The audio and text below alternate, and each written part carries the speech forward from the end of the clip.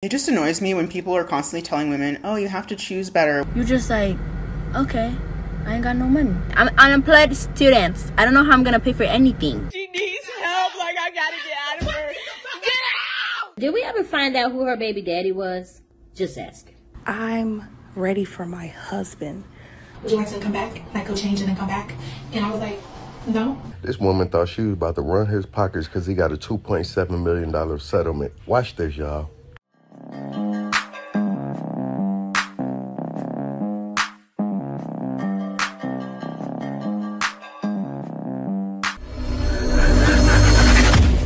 Hey guys, welcome back to More to Life.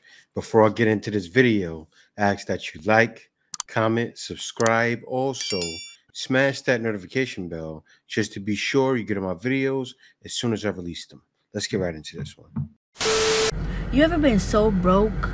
You ever been so broke you you not you not even sad about it no more? Like you just like, okay, I ain't got no money. It, you know what I'm saying? Like I don't, I don't know I don't know what I'm gonna eat. I don't know how I'm gonna pay for gas. I don't know how I'm gonna. And I literally have a trip. I have a trip in a few months in December. Huh? I have. I'm, I'm unemployed. I'm unemployed students. I don't know how I'm gonna pay for anything. I have no money. I have. I, hmm. Hmm. But guess what? But guess what? It's gonna work out. Ain't got good. It's gonna work out.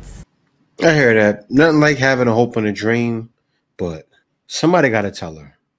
I learned the hard way and I learned the long and hard way that a lot of times it won't work out and you got to do something about it. And the reason why I said that is because of this. Take a look at what she said. Now, this is the exact reason why I said it. Look at what it said. It showed, I ain't never been this broke. I don't know how, but I'm going to get this money regardless because I'm not missing that trip. At this point, all I need is money for the plane ticket and I'll figure out the rest later. Now, if any man was to tell another man that that had some sense and was grown, he would tell him, "Don't think about trips right now. Focus on getting your bank your bank together. Then after, focus on trips." But that's not the case with a lot of women. But still, it's an issue, and you need to be held accountable. You shouldn't be going on that trip. Y'all ain't buy tickets to that Nasty Red concert. Cause word on the street is, y'all, they gonna cancel the tour and because she's having a hard time selling tickets. She's selling less than 40% altogether. And she still has 85,217 tickets still available for sale. We don't know what's going on. I mean, I don't know if it's people just don't have the money or is it her fans just don't want to see her. Like, what is it? Maybe people are really starting to see that she ain't that, you know, red. She the nasty red. Maybe people are starting to see it. Now we know that Drake was like one of her biggest promoters, but Drake got his own beef going on right now with Kendrick Lamar, right? So he ain't got time for her. I know this is off topic, but did we ever find out who her baby daddy was? Just asking. And it's not just her that's having a hard time selling tickets. It's Ice Spice and Meg The Stallion also. So it could just be the economy that we're in right now. She's also being accused of crypto fraud and they're calling wow. it pump and dump. I don't know much about it because I'm not into that cryptocurrency, but it's some kind of scam where it's like you invest your money and you're supposed to get the money back, but you're not going to get that money back. So, for what it's worth, don't put yourself in anything crypto involving Sexyy Red. I, whatever it is, just don't do it because it might be a scam. But whatever it is, they're saying that she's looking at prison time for it. So, like I said, I don't know much about that cryptocurrency mess, but whatever it is, and get her put into prison. So, yeah, that's just the word on the street, honey. So, I hope y'all didn't buy tickets. I know a lot of people. Well, this is not just Sexyy Red. It's a lot of artists struggling, uh, and the reason why is because a lot of artists aren't putting much into the show. This this has been happening for years. People that are big names that can't sell tickets. Now, someone, as you mentioned, Drake, someone like Drake probably can sell tickets, but he puts on a show. Just like you've seen Kendrick Lamar does shows. He sells tickets. Someone like Eminem, Dr. Dre sells tickets. But nobody's gonna pay their good money to go see Ice Spice because they know she's gonna be dancing around stage and singing most likely over music that's playing. It's like a live concert. I mean, not, not like a live concert. It's like a live radio station replay, and nobody's gonna pay the good money to see that. See someone sing over a record that's louder than her and dance on a song saying, I love my baby daddy and all that stuff. No, nobody's going to. But it's true. A lot of people aren't selling tickets. It's a sad thing. And yeah, it's not a time to be an artist. That's why from time to time, you really got to take a break from dating because you start to lose your patience. You start to lose your patience, things that you would have let slide, you can't let slide anymore. Like you just become more aware and like you really just and when you become intentional about your dating, it's kind of hard to just accept anything and go with the flow and oh, I told him this, but he's still doing this. Like I can't do that anymore. I don't know. The older you get, the more men you experience in dating, you just gotta stand on your business, stand on your boundaries, your standards, because they will try to play in your face. And this is why I keep telling people this dating, this dating stuff is hard. It's hard. It's frustrating, especially when you only want one end goal. I don't want to fling. I don't want another situationship. I'm not trying to be outside and hoe around. I'm ready for my husband. So if anybody presents me with non-husband material, they gotta go. Man, more and more and more women saying that after they've done letting guys just run through, giving them babies. Now you're ready for a husband, but you're 40, 50 pounds heavier, and you're not willing to do the things men want and need. Right? Men need love all the way through. Men need full commitment. Are you truly ready to give that to someone? But still, not even that. Look at you now. Like when you looked like a million bucks, everyone got it. Men just a lot of times men just don't want to deal. They don't trust anything. And actually, I've seen a situation about that. I'll get into that later, but So I just got dress coded during the interview. And then they decided to reschedule the interview with me for tomorrow. But before they rescheduled, the lady was like, Would you like to come back? Like go change and then come back? And I was like, No. These are the shorts. your legs. Let me turn to the side, y'all. These are the shorts.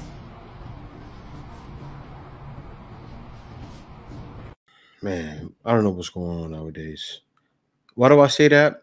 When has it been okay for anybody, woman or man, to show up to an interview wearing shorts? I understand they're dress shorts, but they're not dress shorts. Why aren't they dress shorts?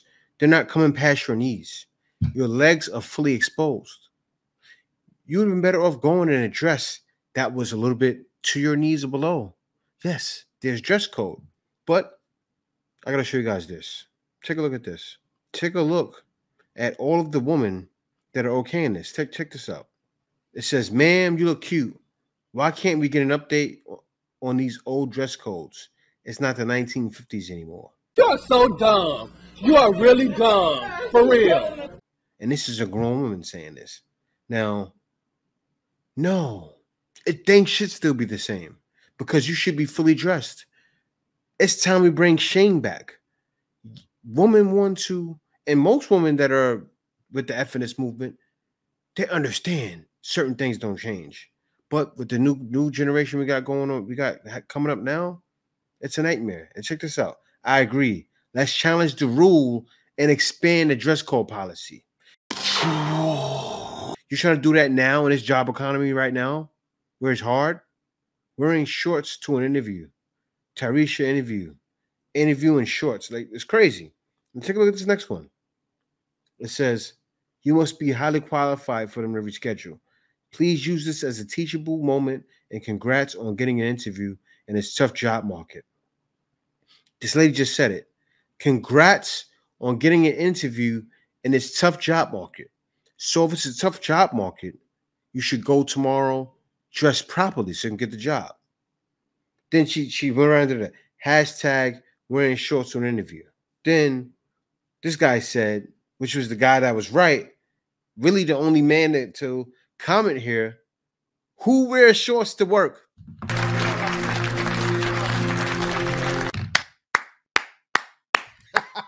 That's true. That's true because if, if you go into McDonald's or something like that, and you went dressed in McDonald's pants with the McDonald's shirt, they're gonna say, "Oh wow, congratulations! You look, you ready to start right now." Look, sincerely, I hope you have a career coach or mentor down the line to help you focus in on your goals and take you to the next level. I don't know what you were inter- interviewing for, but this ain't it for corporate. Exactly. People finally starting to tell the truth. She needs to listen to these comments, not the other comments, but she did hard it. Hopefully, she gets the point. I think she does. And if she's smart, she's gonna go ready and properly dress tomorrow. a good guy. They'll pretend that they like you. They pretend that they're interested in the same things you're interested in. And that's why dating is so hard and it's so frustrating for so many women.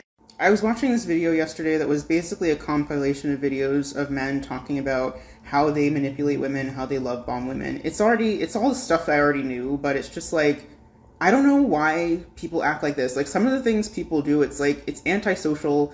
It's honestly almost pathological. No, I understand why. It's because they know that they have to do that to be able to get the woman. It's delusional. They have to do that to be able to sleep with her. They have to pretend to be somebody they're not. And it's basically just them, like, enjoying chasing you, and they'll do that even if they don't actually like you. They do it because they know that being themselves is going to scare the woman away, so they have to pretend to be this perfect Prince Charming guy, and that gets them in her good graces, and then she'll let him have access to her body and whatever else he's trying to get from her. It just annoys me when people are constantly telling women, oh, you have to choose better, without acknowledging the fact that men are basically faking their personality, they're faking who they are, they're faking their intentions towards you. That's what who's said. But you keep choosing these guys, right? You ignore. See, women got to realize this. You ignore a bunch of men that try to talk to you that have good intentions, and you go for the man that looks handsome. This is what happens when you keep going for that one man that you know probably doesn't fit into your criteria, right?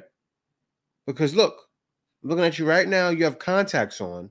I doubt your eyes are that color, and you have makeup, some kind of concealer on your face. You're not being you. So men are doing the same thing. They're going to the dates not being them.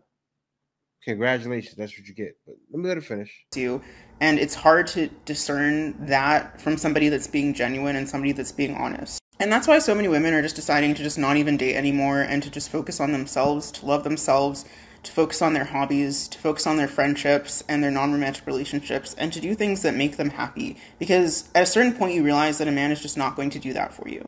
I've realized that a lot of men are actually extremely insecure, and I think that's part of the reason why they don't feel comfortable being themselves, even. And if you can't take their insults, they shame you. Oh, look at you. You too weak again. Shaming tactics. If they genuinely want a real connection with a woman, they just like they don't even feel good about themselves. A lot of them honestly don't even like themselves. So You're supposed to be able to handle their insults. And see, low value women feel like people should be able to handle them. No. why would they like you? The guys she wants, is the guys that are doing this, are the Chads and the Tyrones that have women at their beck and call. Those are the ones that go around love bombing sometimes, playing games, telling you things you want to hear. Just get in the drawers and go. And continue doing that because they know they have a certain look women want and they want to keep it flowing. Yo, look what the she my mama did to my room. this bitch is toxic and she needs help. Like she needs help. Like I gotta get out of her. Get out! Damn!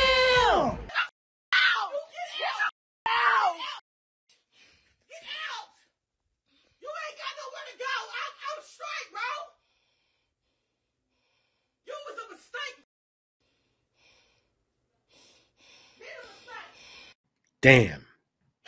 Well, I'm I'm, I'm on her side. Her mother is toxic. But what I think is happening is her mother wants her gone. She clearly said it. She's even insulting you to get you gone. She wants you out. Man, I don't know. Maybe she's in there with a guy and she has a boyfriend and she can't get freak with him at night. That, that has to be it. It has to be something like that going on. Because she clearly wants you out. When she says you was a mistake, Bill, it's time to go. Seriously. If I, my mom said you was a mistake, I'm thinking, well, most kids are mistakes. That probably hurt her feelings to the core. But somebody say I'm I'm a grown man. When I was younger, I probably would have took it to heart. But still, somebody tells you you're a mistake, like most kids are mistakes, but still, that's wild. But your mom's doing that. It's time to go. She wants you going. Go get yourself a job and just continue stacking money. Continue. Maybe agree with. May have her agree with you. Say, look, ma, if I can stack money, get a job and stack money for a year or six months, because a year may be too long. She wants you gone for six months. Is that okay? Yeah, sure. Go to her and come up come up with a come up with a plan with her. If she doesn't want to come up with a plan with you, deal with it for six more months and then go.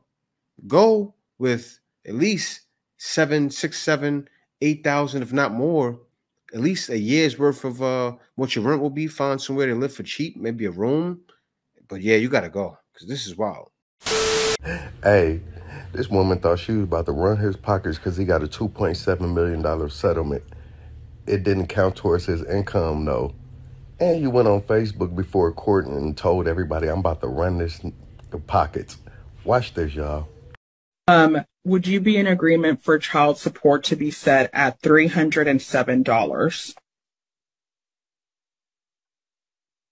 For all three? Yes, ma'am. Like 100 a, a piece?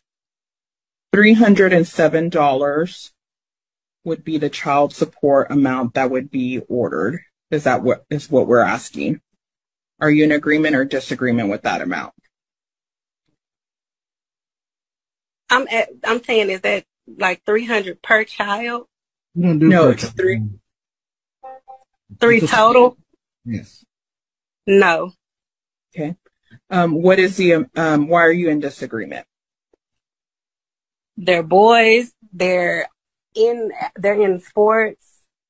They're constantly eating. They're constantly growing. Um, everything is so expensive. It's one is about to graduate soon, and he's in. Um, he's getting ready to do like all his other school activities. It's. I just don't agree with three hundred dollars at all. Man, this has to be most foolish thing now. This guy just won a lotto. That means he has to file it on his taxes, right? Out of that 2.7, depending on the state, they may take half. If it's in New York State, they're definitely taking half. And he has to file it, right? So maybe in a year and a half, that's when you divorce him. She did this man a favor. Congratulations, you played yourself. And this is the mindset of the modern woman. As soon as you got some money, divorce him and take half. Right? Divorce him and take it. And a lot, and so many women are doing this nowadays. I do commend a woman that wait a long time. Like the woman that get a guy that was that built himself up and she saw him build himself up and she stayed with him for at least 10, 15 years. That's not right, but still it's better than this situation. She saw a way out. And this is why guys are choosing to, to go their own way and to not date women because of situations like this.